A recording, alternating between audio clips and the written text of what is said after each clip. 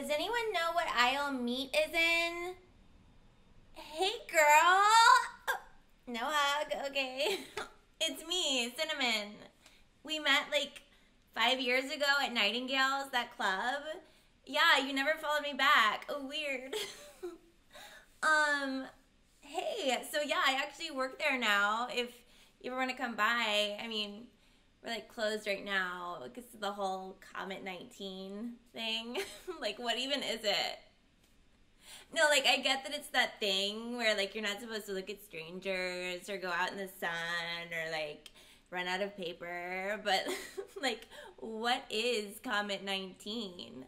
What is Comet 19? What is Comet 19? Anyway, I have a fully stocked bar, so, like, hit me up if you need hand septicizer. And follow me back!